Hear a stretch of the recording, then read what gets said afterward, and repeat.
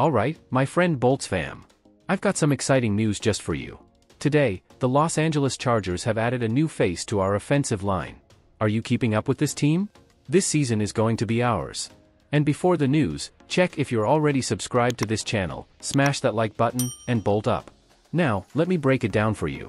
Alex Leatherwood has had a bit of a journey in the NFL so far. He was originally a first-round pick by the Las Vegas Raiders in 2021. That's right, picked 17th overall. In his rookie season, he started all 17 games for the Raiders, splitting his time between right tackle and right guard. He even helped them make a postseason appearance. Not too shabby, right? Before his NFL days, Leatherwood was a standout at the University of Alabama. This guy was a unanimous first-team All-American and part of an offensive line that won the Joe Moore Award for being the best in the country. He also snagged the prestigious Outland Trophy. So, he's got the college credentials for sure. But let's talk about his NFL journey. Leatherwood started with the Raiders but had some struggles, giving up a few sacks early on, including one to our very own Joey Bosa. That led to a position change from right tackle to right guard, but things didn't quite click there either.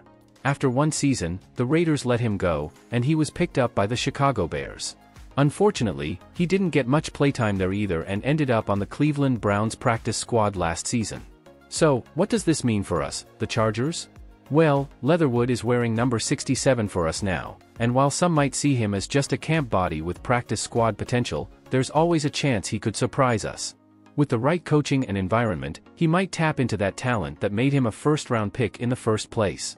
It's a low-risk move that could potentially pay off big time for our depth on the line. Alright, that's the scoop on Alex Leatherwood. As always, I'm excited to see how this unfolds and hopeful that he can contribute to our team's success. If you're as pumped as I am, don't forget to smash that like button and subscribe for all the latest Chargers news. Let's bolt up, and I'll catch you next time.